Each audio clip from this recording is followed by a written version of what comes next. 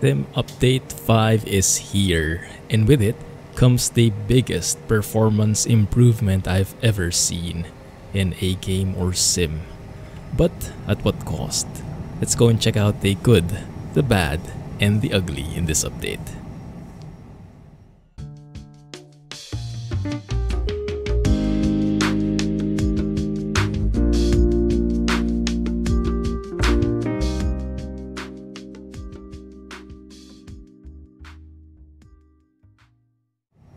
Guys, Clumsy here. Welcome back to Microsoft Flight Simulator. Oh my goodness, the biggest news ever. Sim Update 5 for PC and also including the Xbox Series S and X release. But for this video, I'll be focusing on the PC aspect of things. Because uh, PC Master Race, right? sorry, not sorry. Uh, anyway, no, it, it's all good. And it's just that I only have a PC, so I'm focusing on the PC. But yes, let's go straight to the good things, the great things, the amazing things. We have a huge performance improvement now across the board. We have the CJ4 mod working. We have it uh, with all the glass cockpits and all the cities, the sceneries, everything, and still locked at 60 FPS. It's an amazing feat. I wouldn't have thought it was possible. But has somehow Asobo managed it, so great job to them. And uh, yes, so regardless of which plane I'm flying, I'm getting performance benefits. Some more than others, some FPS have doubled, some have increased maybe 10%, so it's a very wide range. Your mileage may vary, but at the end of the day, it's a huge performance improvement. Yeah, that's I think safe to say in any aspect whatsoever. Alright, the next good thing that I really like is the world map. If you can see here right in front of us, we have the world map which looks pretty normal, right? But the beauty comes when you start zooming in. Because before, when you zoomed in, everything turned gray. And so you didn't have any idea anymore. Now though, that's a different thing altogether. As I zoom in, look at the details starting to pop up. But even more so, look at the world map still being there and not only being there but actually adding the different places you know the cities the districts or whatever these are. More details as you zoom in even the real life traffic which has been there already before. But the biggest thing is the map is still there and getting more and more detailed as you get closer. To the point that you can actually zoom into the airport you're thinking of starting in and you can scout how the starting spots look like. Like, does that look like a GA ramp? Will I be uh, right next to a building? Will I be right next to the runway at that point? So now you can actually get a beautiful picture of where you're starting, like that way, right? It's amazing. It's just amazing. And I didn't know what I was missing before when we had that gray thing. But cool. So that's a good thing.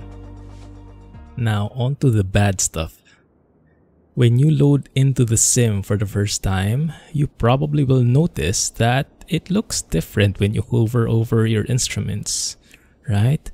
You'll find that the tooltips have become so much bigger and uh, personally, so much more obtrusive. So it's a bit of a bias on my end why I call this bad, but stay with me, okay? But yes, many of you will probably have had this problem. Hold question mark the lock and nothing is working, right? So how the heck are you going to move your instruments now? Well, it's uh, it's something to do with controls. If you look in controls options, most likely you changed your profile on the, your mouse controls at one point. So for me, I created a zoom profile here, which if you look now, because they added new commands to here, if you look for cockpit interaction, you can see that nothing is bound. That's why it's not working. So you can either go back to the default. So you can see the default settings have mappings in there. Or you can add them yourself in your custom profile. But if you want to add them, just basically do it like that, right? Make sure the cockpit interaction, you can just copy it from the default one. But primary left click, secondary right click, that's okay. Those conflicts are not really true cockpit interaction increase would be mouse wheel up. Decrease would be mouse wheel down. And I think that's the essential thing. Once you have those put in, when you go back, ah, now it's not a question mark anymore, right? Hold left click to lock. And from there, it does say move question mark to interact. So I probably have something not still still not bound. But if I move my mouse left and right, it actually moves the heading. That's actually very convenient, right? And then you get the degrees, the actual degree setting as a tooltip. That's actually not too bad. Maybe you can get used to that as well. I'm just personally not a fan of any kind of overlay or blinking, lighting up things because it kind of ruins immersion for me. But I must agree, this is very, very functional. Maybe I shouldn't categorize this as bad anymore. Anyway, so this is the same here, right? Adjusting the mixture cutoff or which percentage it is. Or you can even use your mouse wheel still here. That still works. It depends. And then you can get all those other other uh, instruments as well, tooltips. But what if you don't like it like me? What is your option? Well, you can have, which I which is something I prefer, go to accessibility and you see this general options accessibility cockpit interaction system go to legacy yes it, it sounds bad that it's called legacy because it's like the pc compatible version has been made legacy or the PC optimal version. So now if you go here, you won't have the lighting up blue and yellow things anymore, right?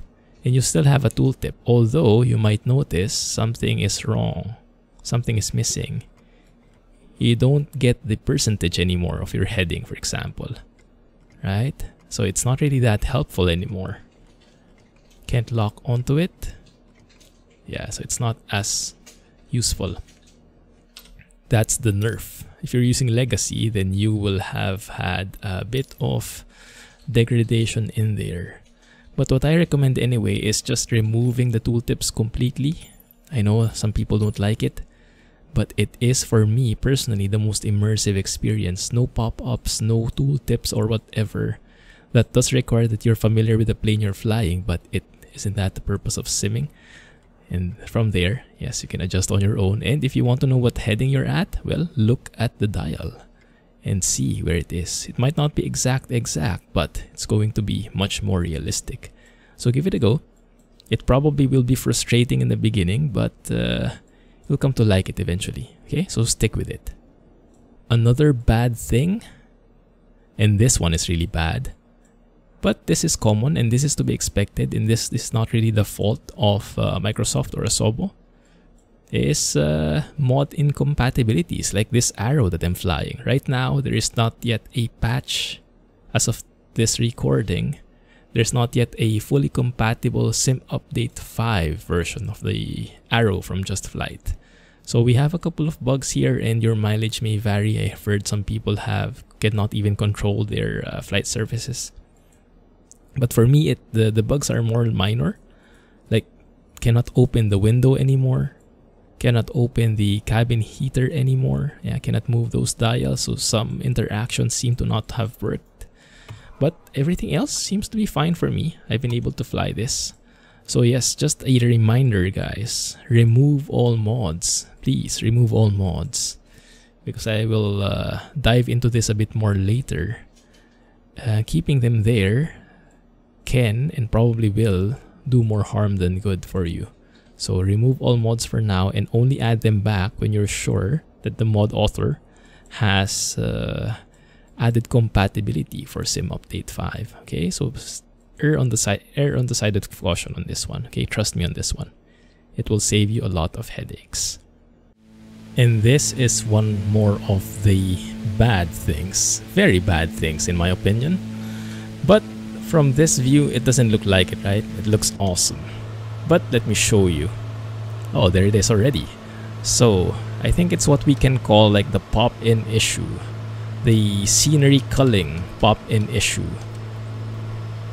Which is happening more often because I think they have changed the logic of when the scenery is getting rendered and de-rendered or whatever the term is. But basically, Look at this, if you're a track IR user like me, VR user or you just want to move your camera a lot because you want to see where the airport is, for example, like that.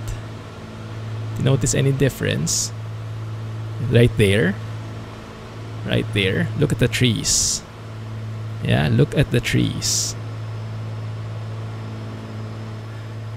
Regardless where you look, everything is getting re-rendered again and again and again.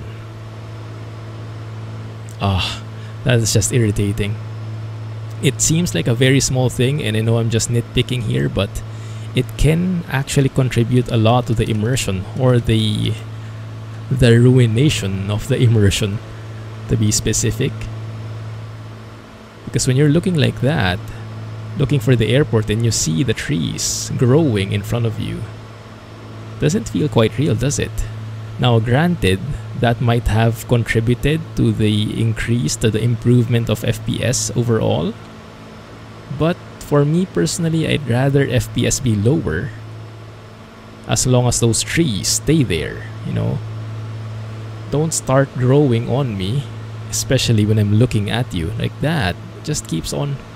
And I'm not sure if this kind of detail will be captured by the YouTube video, so I might be like a crazy person talking here, but I hope you can see it. And I hope you can understand my frustration about it. So my hope is that Asobo is made aware of this problem. There's already a thread in the Microsoft Flight Simulator forums about this. Last time I checked there were 100 votes, so I'll link it below in the video description so you guys can vote as well if this is something you would like to get fixed as well. But yeah, I think especially for people who have strong enough rigs to keep everything rendered, I wish we could get an option, a slider, you know, to keep everything as is and don't keep on rendering it again and again. I think it's also there if it's if you go outside, yeah. That's micro stutter. It's because things are loading back in. See it? See the trees getting rendered in real time? That's very apparent here in this place. The more trees you have, the more uh, vegetation, the more obvious it is. So try and load up here in this airport, Spirit of St. Louis, Kilo Sierra, Uniform Sierra. See the trees? As you continue looking around, they get re-rendered because the new logic is if you're not looking at it currently, that then it can get removed from the buffer or whatever you call it. So whenever you look at it again, it gets re-rendered every single time.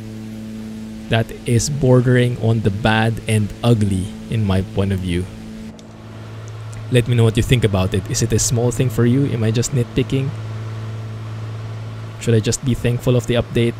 I am thankful of the update, but I think we should also look into constant improvement areas. And this is definitely something that I think is a step backwards. So I hope, I really hope it gets fixed. Lastly, on to the ugly stuff. Some would say that popping in issue is part of the ugly stuff and I would not disagree.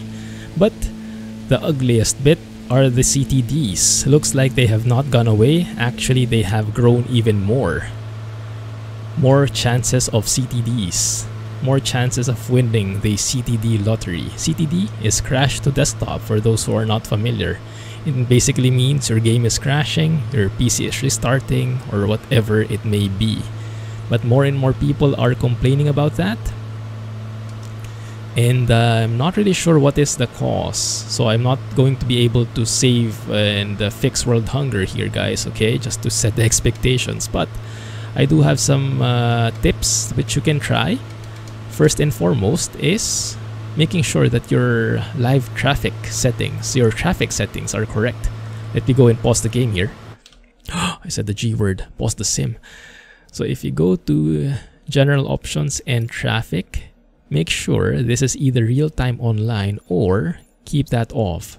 Never ever, never ever use this AI offline thing. This is actually in the known issues. If you look at the current known issues, this is part of the known issue that this can cause crash desktops because AI offline creates AI planes based on certain flight plans and it looks like those flight plans are corrupted of some sort. So whenever those AI planes get generated, depending on where you are, it can cause a crash to the desktop. Okay, so remove that first and foremost. That's going to be what I recommend. And I'm going to keep looking around here so I can really drive the point home of this popping issue. Okay, see how strong that pop those pop-ins are. While I'm talking here, the other ugly stuff, well, yeah, that's the main ugly stuff. But one more thing I can recommend to maybe alleviate that is I highlighted it a while ago, right? Remove all your mods, please. Clean out your community folder. Delete everything from the community folder. As in everything. Even if you think it's harmless, delete it. I've had people reporting that they've been getting crashed desktops or weird uh, behaviors on the plane. And in the end it was caused by a livery. You would think it's a livery, it's harmless, right? It's just a paint job. But no, not really, not in this case. So please guys, before you try anything else, clean out your community folder. Make sure that you're not using offline traffic and uh, see from there again if you're still getting the CTD. Now if you are, then I'm out of options for you go and check out the forums at flightsimulator.com to see how it's working. But to be to give a bit of contrast, I flew in the Sim Update 5 yesterday in the stream. I streamed for 3 hours. We traveled quite a bit. We did a full flight with the CJ4 mod, which has been updated for Sim Update 5 already. And I'm loving it. And uh, it's been great so far. No CTD so far. Um, I might have jinxed it, but uh, yes, for me personally, no CTD so far. So, might be something else. Might be something else. Let me know in the comments. Maybe we can crowdsource this if you have more tips for people. Let me know. And uh, let's get this working, guys. We can manage this, yeah? Because right now we have a lot of teething pains, I think you could call it with Sim Update 5 from the installation, the download, ah, yeah, I guess you could also call that an ugly part. The downloading of the update was horrendous, partly because of the servers getting bogged down with all the traffic, with all the people downloading the updates. But at the same time, yeah, just a lot of installation related issues, right? Uh, installations getting stuck, installations changing percentage like 95% and going down to 50 again like what the heck? But yes it's not a polished uh, setup. For me personally i think i got lucky in that front maybe because i live in singapore. Southeast asia server maybe it's not as bogged down not as much traffic in there maybe i don't know really. But for me the the update process was not was not fast. It was still slow. It took me like an hour or so but there were no complications thankfully. So it took me like an hour or two at most to do all the updates and I'm back. But yes please um, before you do the update even remove all things from your community folder. You might be saying you're saying clumsy you're saying remove all community mods and you have a a plugin here the just flight arrow. You're using a just flight arrow which is not officially compatible with Sim Update 5 yet. Well, that's just me. you can do whatever you want, but do so at your own risk. And if you get a CTD, if you get weird issues, then you have no one else to blame but yourself, right? So I that's uh, that's something that I can blame myself for if ever this goes wrong. But so far it's been okay. Like I mentioned, minor bugs in the arrow for me, yeah, no, windows not opening, the oxygen tank not working, I think, the cabin heater not working. But everything else seems to be working fine. Ooh, look at that. Is that an AI plane?